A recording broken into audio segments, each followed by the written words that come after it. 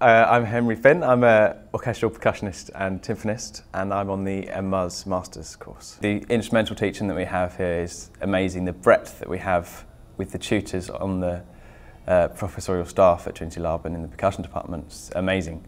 We have people from opera companies, the timpanist of the Royal Opera House, percussionist of the English National Opera. We have orchestral players, we have session musicians, as well as jazz musicians and folk musicians that come and teach us. Uh, there's people on West End shows. And so anything that you want to study as a percussionist, there's people here who are doing that job and so can teach you.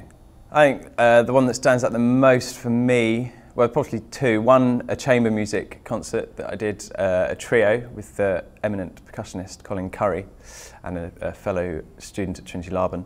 And we played this absolutely mental piece. It was absolute roast up, 25 minutes long, just going ape all over uh, the, all over these drums. And so yeah, working with him as a as a soloist and uh, yeah, just playing with him was just an amazing experience doing that at the South Bank.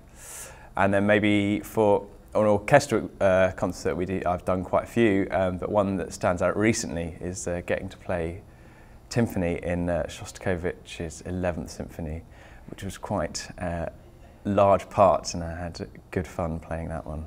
In my time at Trinity Laban, I feel that I've become much more confident in what I'm doing and the breadth of my knowledge in many different musical areas that I wouldn't have thought about before coming here has uh, expanded so it makes me much more comfortable going into any situation in orchestral world or chamber music or anything else and uh, doing the job that's necessary.